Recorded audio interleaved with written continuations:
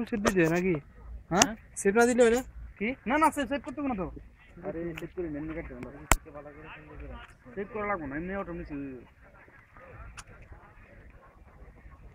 set করতে না automatic set দিয়ে